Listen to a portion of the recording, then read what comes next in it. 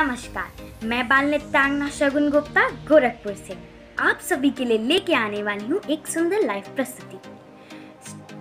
22 अगस्त शाम 5 बजे Krishna dancing rockers India के फेसबुक पेज पर। मैं कृष्णा डांसिंग रॉकर्स इंडिया के फेसबुक पेज पर होने वाले टैलेंट फेस्टिवल ऑफ़ इंडिया में अपना प्रस्तुति देने वाली हूँ। मैं टैलेंट फेस्टिवल ऑफ़ इंडिया के ऑर्गेनाइजर श्री नरेंद्र प्रताप सिंह को बहुत बहुत धन्यवाद देना चाहती हूँ कि उन्होंने मुझे अपने फेसबुक पेज पर लाइव आने का निमंत्रण दिया। धन्यवाद मैं आप सभी से बहुत बहुत निवेदन करती हूँ कि आप सभी कृष्ण डांसिंग रॉकर्स इंडिया के फेसबुक पेज को फॉलो करें, जिससे आप 22 अगस्त शाम पाँच बजे मेरे लाइव परफॉर्मेंस को ज्वाइन कर पाएँ।